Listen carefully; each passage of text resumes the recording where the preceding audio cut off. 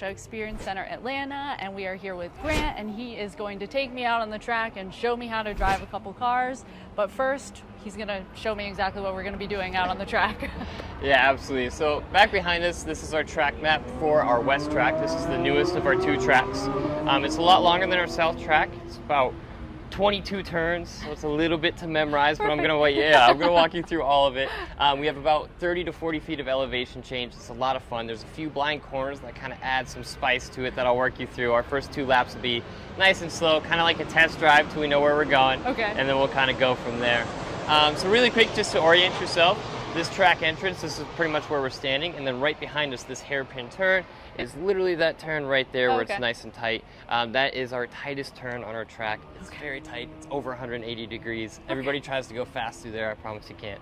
Um, I'll walk you through I all that good I stuff. no, you will by the end, but in the beginning, I'll walk you through it. It'll be okay.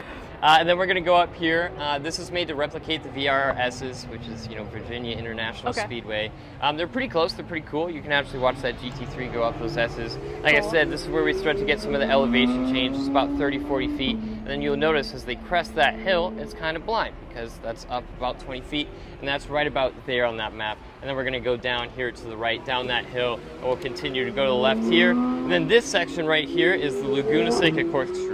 Um, I don't know if you've ever heard of that. It is by far my favorite track in the country, uh, my favorite turn in the country. It's super cool. That's going to be about a 30 foot drop, but it has some camber so it kind of catches the car. You can kind of see the backside oh, okay. of it over there. Um, I'll walk you through that. You'll get some of that G force on the way down. It'll be over a full G. That's where we kind of get some of the roller coaster effect and stuff like that. All right. Uh, that'll lead us to a pretty short straightaway before we hit the Daytona bus stop right here.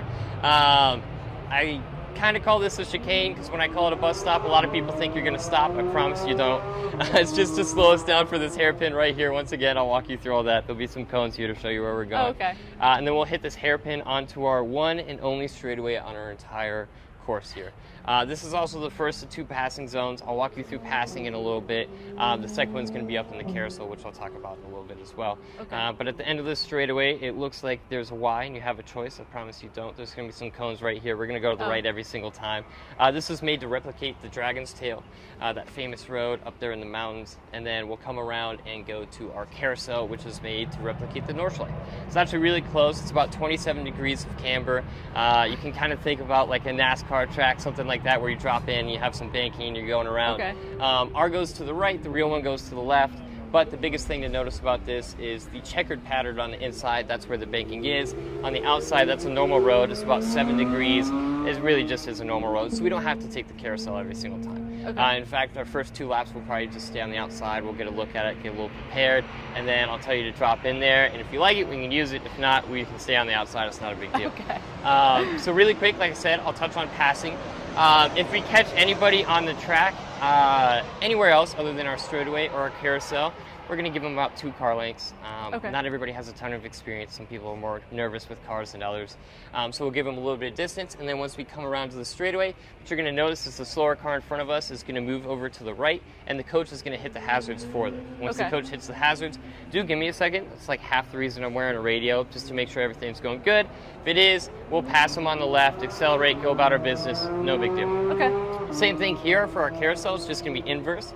The slower car is going to stay on the left-hand side, that normal road. The coach will hit the hazards. They'll kind of cruise around 25, 35 miles per hour, no big deal. The faster car will go on the inside, passing the carousel seamlessly.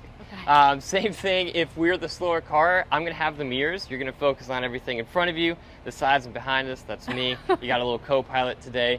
Uh, so you really won't know there's a car behind you, which is the goal, and then till right about here. And I'll tell you to move to the right. I'll hit the hazards for you. All you got to do, breathe off the gas, cruise at 25, 35 miles per hour. Not a big deal. Okay. Um, the only thing we don't want you to do is brake slow abruptly. Uh, these cars are obviously very fast. You could go 55 down this road and the passing car is still going to have no problem. Um, so just legitimately just cruise like a Okay. neighborhood road. Once they pass us, I'll tell you to move to the left. We'll go about our business seamless. Okay. Um, there's also not too many cars out here, so it won't be too, too prevalent. Um, other than that, we have three modules here for you today. We have one dry one, two wet ones. Um, I'll start with the dry one here. This is our dynamics area, or our autocross as we call it. Um, you can see it back there. It's the one with all the cones. Uh, that's where we're going to be doing some acceleration, some deceleration, uh, and then we'll break off into an autocross, which is just a track made up of cones. Um, it's only about three, four, I think five turns. Uh, it's not anything crazy, but it is a place that we can kind of push the car a little bit more because it's better to hit a cone than it is to hit a guardrail. Uh, so that's a place where we can kind of really test out the handling, fear a little bit of understeer, a little bit of oversteer, stuff like that. Uh, but more importantly, this is where we get to do launch control. And Oh. the first car we'll be in is a turbo. Goes 0 to 60 about 2.4 seconds, Oh, uh, 640 horsepower. It's absolutely ridiculous. You'll feel the blood rush out of your toes. Um, I will tell you to put your head back on the seat because if you don't, you get a little bit of a concussion, you a whiplash. um, so I'll prepare you for all that. Uh, and then more importantly, here at the end, uh, we're going to brake, or at least most importantly to me, because I don't like going off the side, so we'll brake nice and quick. Yes. Um, that's one of the most important parts of this entire experience is the braking. Uh, but not only that, the braking on these Porsches are fantastic. Um, it's honestly almost more impressive than the acceleration to me. Um, so we'll have some fun with that. Um, and then for our wet modules, we have an ice hill. It's the longest ice hill in the world. It's 301 feet. The previous record was 300 feet. Wow. Um, so you can tell that was very precise. um, it's at an 8% grade. The best way to imagine it is a treadmill at an 8% grade, but 301 feet long. Okay. Um, so it's actually pretty cool to look at. It's a pretty big hill. Um, but it's going to be polished concrete with computer controlled water going down all of it, so it's nice and slick. It's made to replicate ice. Um, as I mentioned a little bit before, the turbo, it's really not that fun there because it has so much grip, you just drive up the hill. Okay. GT3, we're going to be on Sport Cup 2s. The tire isn't that great, great in the wet, um, so it'll be a little bit harder to go up it. So we'll kind of have some fun with that, some throttle control, some steering, all that good stuff. We'll feel out the differences in the car, Okay. um, and then we will go down the hill as well, and we'll kind of wag the tail, get it fishtailing a little bit, have some fun, pretend like we're skiing down a hill, all that good stuff. And then lastly, we have our low friction circle here. That's just a skid pad. Uh, it's polished concrete, again, with water on top of it. Whole Okay. bunch of sprinklers. That's where we'll do a little bit of drifting, a little bit of understeer, a whole bunch of stuff there. Um, and the turbo, it's a little bit harder because it's four wheel drive. So I'll kind of explain to you what is different while we're out there. Okay. Um, but as you know, I'm sure it's a little bit harder to get a four wheel drive car out of control Yes. compared to the GT3 where it's two wheel drive. You hit the gas, you go spinning around. It'll be a ton of fun. Um, so that's pretty much our entire experience. Okay. Um, as I mentioned, if you do get hot out there or anything like that, just let me know. I'm gonna be in the car with you the whole time. So let me know if you're feeling anything weird, Okay. hot, cold, whatever the case may be. I'm pretty fair weather. We can adjust the AC as we need. Okie dokie. Um, other than that, do you have any questions, no, comments, concerns? I'm ready. perfect, perfect. That's what we want to hear. Um, so we'll head over to our cars. Okay. We can kind of get some introductions to it. You can take any pictures you want. Um, these are all your cars for you know the full 90 minutes. okay. Uh, so the last thing I will say is kind of like I mentioned. You know, make sure you tailor this to yourself. Okay. We're doing something that you don't necessarily like, one of the modules, you're like, that's not fun. Tell me. Okay. Uh, I've done all this more than enough. If you say you don't want to launch the car again, it's not going to hurt my feelings. Okay. Um, on the flip side of it, if you're like, man, I really like doing that, you're like, I want to do it again. We can do it the whole time. Okay. Pretty much, I can spend a whole hour and a half on all of these modules, anything like that. I can go in as in depth or surface level as you want. Um, all of our coaches out here have a plethora of knowledge. Cool. Um, so any questions you have, please do ask. Okay. Uh, I'll try to give you at least a couple of tips, maybe you can take away and Yes. use in your normal everyday driving life. I could use that. yeah, absolutely. Um, so, like I mentioned, this is our, our turbo, guards red. Um, very cool, 640 horsepower, all wheel drive, um, a ton of fun. Really, honestly, just a ridiculously fast car. Its straight line speed is ridiculous. It handles very, very well. I'll kind of walk you through all that good stuff. Okay. Um, we have a couple of things in the car that helps it handle uh, PDCC. Um, you know, our PDK is very cool as well. That transmission, I'll walk you through all that good stuff. And like I said, launch control is by far my favorite thing in the world. Um, and then our GT3, we'll kind of go over that when we get in it. All right. Um, Is this what we're taking first? Yes. Okay. This one's a little bit. It's like a golden retriever, you know. Like Oh. if you make a little mistake and you like do something it doesn't like, it just looks at you and wags its tail. It's all happy.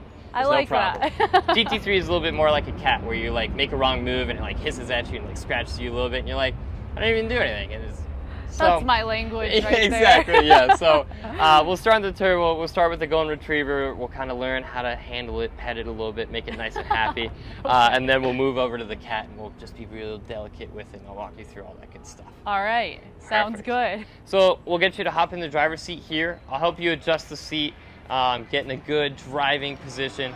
Um, I always kind of describe it like an athletic position in sports, uh, but just for driving. Okay. So you can actually, everything's going to be on your left-hand side. These are the 18-way adjustable seats, which all that means is there's a whole lot of buttons for you to get confused down there. Yeah, apparently. Um, and the- yeah, the big one in the front, just like that. Important. Uh, you can actually start the car if you want. We can get some. It'll be on the left-hand side, Where? right here. Oh, wow. Yeah. Not. Very cool. Yep, so keep moving forward. Really what I'm looking for is that left foot to be nice and flush against that dead pedal so you're able to brace yourself. Um, Okay. That helps a lot when we are pulling those higher Gs, when we are kind of cornering a little bit faster than you're used to. You're able to stable, stabilize yourself. Okay. And then next we'll obviously worry about height. As long as you're able to see up and over that dashboard, uh, you don't have to see the entirety of the hood, but I'd like you to be able to see at least kind of the fenders, a little bit over least your left fender. That looks about good. Okay. How's yeah. that feel? Good. And then lastly, we'll adjust the steering wheel. Um, I always tell people if you reach your left arm out, completely extend it to the side, it should be about where your watch is. Okay. Um, so that actually looks pretty good. If you want it to be in out, I mean, there's some of it is personal preference. It's completely up to you. Uh, but to me, that looks pretty good. Yeah, I think that's okay. All right, beautiful. Feels and then the good. last thing I'll mention is these two little rocker buttons right here. Yeah. These are your bolsters for the seat. So it's, a, it's made to be a racing seat that's infinitely adjustable. Okay. So the one right here is going to be your rib cage. So if you push that forward, it'll get tighter on your rib cage. If you push it back, it'll get looser. And then the one right in front of that will be for your thighs, same way. Um, if you push it forward, it'll get tighter on your thighs. If you push it back, it'll get looser. Um, that's another way. Yeah, Oh, that's that another eh, absolutely just like that. That's Oh, another okay. way you can kind of get comfortable in the seat, so you're not having to do quite as much work uh, as we're in those corners, and you don't fatigue quite as fast. Okay. Um, and then the last one, the circle behind you, is just your regular lumbar. And then this very front one is the pad underneath your thighs if you want Okay. to go forward or back. Okay. Perfect. So I'll go ahead and give you your seatbelt, and then I'll get in there and get nice and comfortable. with Thank you. How you feel? I'm a little nervous, That's but I feel great that Good. you're gonna help me. yes, I got your back the whole way. I promise. It's really, it'll be good. okay. Um, go and throw some drives. so you just pull that all the way back. And then we're gonna go out straight and to the right. We're gonna line up with these green cones. Yeah, good my way. In between those Yep, absolutely. In between those, that's gonna lead to our course. donkey. Should I be worried about this mirror or that's set up how you want it? Set up how Okay. I want it. Like I said, you just focus on Okay. everything ahead, everything to the sides, behind us. I got you. You got a little co-pilot today. Awesome. Beautiful. Go ahead and head straight for me. Yep, keep rolling. A little bit faster. There you go. Perfect. Beautiful.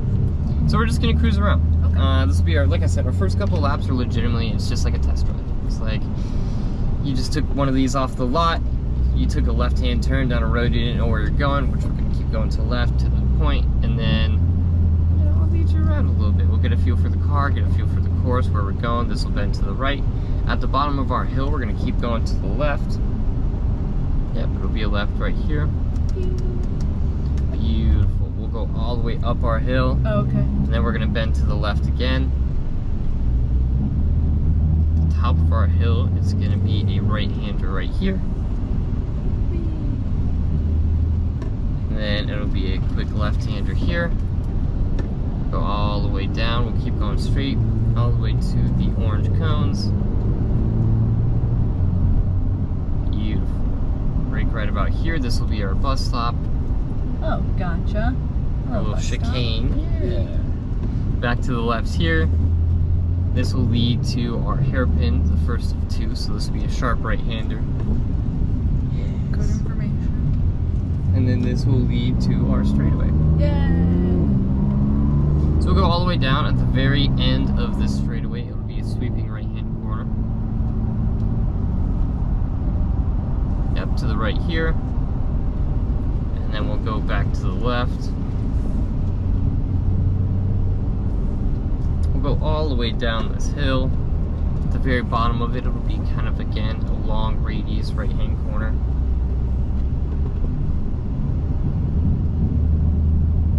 Beautiful. And then we'll keep going straight all the way down. Am I supposed to be in the middle? A little bit of break, yeah. Okay. That's the nice part about being on a course. And then stay to the left where we're gonna look at our carousel for the first time. Oh, okay. I see. Yeah. I see. That's a little bit of that's the 27 degrees of banking.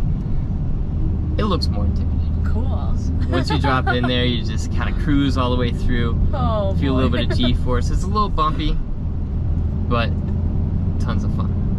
We'll go all the way down straight at the very end. This is going to be our tightest corner on our whole course.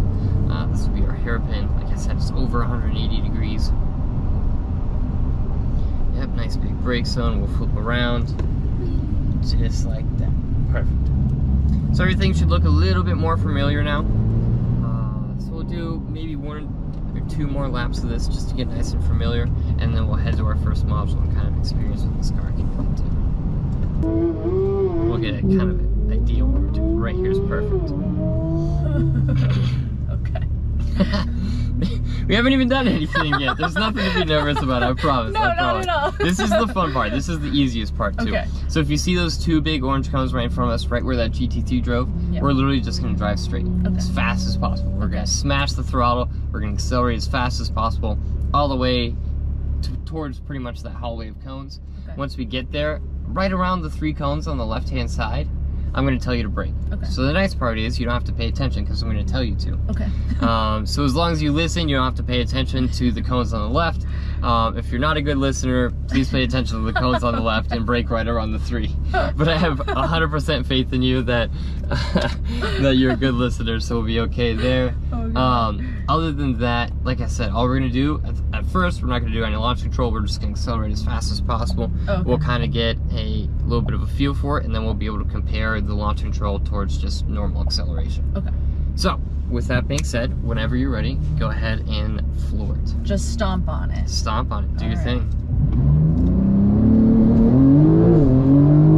Yeah, Perfect. That's good. And break here. We're gonna make this sweeping right-hand corner. Oh, jeez. It gets faster too. That's the scary part. Is like you do that at first, and you're like, ah, that was more than fast enough. And you're like, oh, we're not even there yet. And you're like, Oh, okay. God. So left foot all the way on the brake. Right foot all the way down on the gas, All the way down. all the way down. Take your left foot off. And brake. my That's God. beautiful. I told you it gets faster. Holy shit. Yeah, Sorry. yeah, you're okay. I told you, you do the regular acceleration, you're like, that's more than fast enough. And then you do launch control and you're like, ah. That's It's literally, it's like a roller coaster. Yeah, it is. My goodness. Sorry, Your feet feel it that way. tangly. We'll get a little bit of a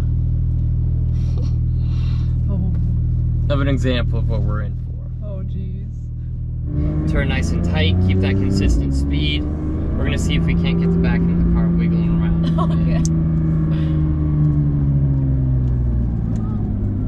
Okay. Go and just roll right onto it. Go Okay. ahead, keep rolling all that speed. Yes. Yes. More speed. That's understeer. Nice, good. Is that what I want? Yes, that's exactly good. Very nice, good. Perfect. Perfect. Back left.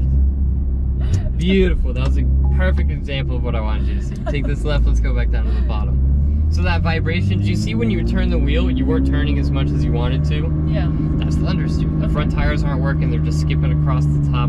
That's kind of what we were talking about at the circle with the turbo. Right. But now, this car does it a little bit more. It, does, it has a little bit less weight up front. So this time.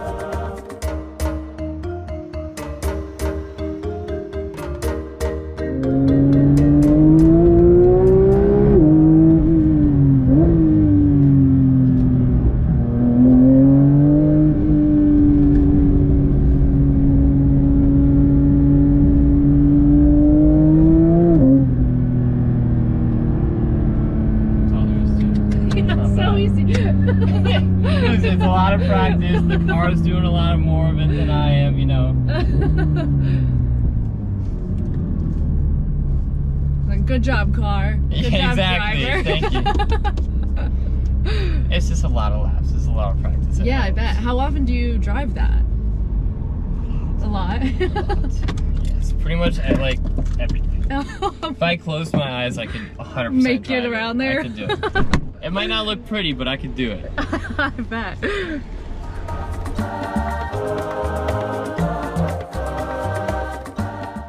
Thank you for watching our video of the Porsche Experience Center here in Atlanta, Georgia. I hope you had fun. I know I did. If you're ever in the area, definitely stop by and check it out. Thanks to Porsche Cars North America for having us. Amanda Cline signing off.